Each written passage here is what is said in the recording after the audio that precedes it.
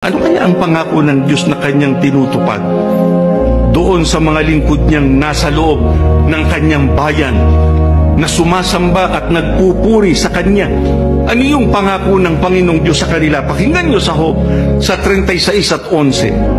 Kung sila ay susunod, May kondisyon, ano? Kung sila ay susunod. Sa makatwid, mahalaga yung pagsunod. Hindi sinabing kung ikaw ay makakaisip na sumunod. Sa makatwid, susunod ka sa Diyos at ano? Maglilingkod sa Kanya.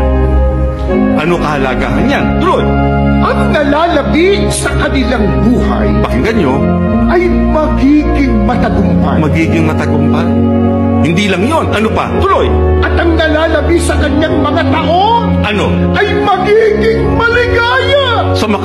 ang magiging matagumpay at maligaya yung sumusunod at naglilingkod.